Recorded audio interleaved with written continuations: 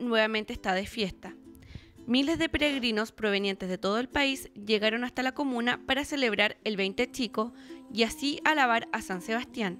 Esta demostración de fe católica quedó plasmada en las calles de Yumbel, pues a pesar de ser día de semana, esto no fue impedimento para que más de 600.000 fieles asistieran a la peregrinación para encomendarse al santo patrono o bien para que los campesinos pudiesen agradecerle a santo por sus cosechas. Pedir por todos los jóvenes por todos los adultos, por todas las personas. Cumplir eh, con una manda que hice que tiene que ver con que mi hijo estuviera bien de salud y que estoy cumpliendo. El hecho de que me ha ido bien en todos mis planes que yo he hecho, bueno, lo hago más por mi hija porque tuvo problemas cuando nació.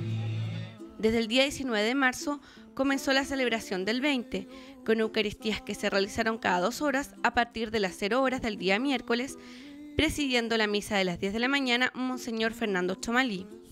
Bueno, es una gran alegría venir a, a Yumbel y encontrarse con tanta gente de todo Chile también de Argentina que vienen a venerar a San Sebastián, lo reconocen como un gran santo, lo reconocen como un mártir de la fe y un gran testimonio de fidelidad al Señor.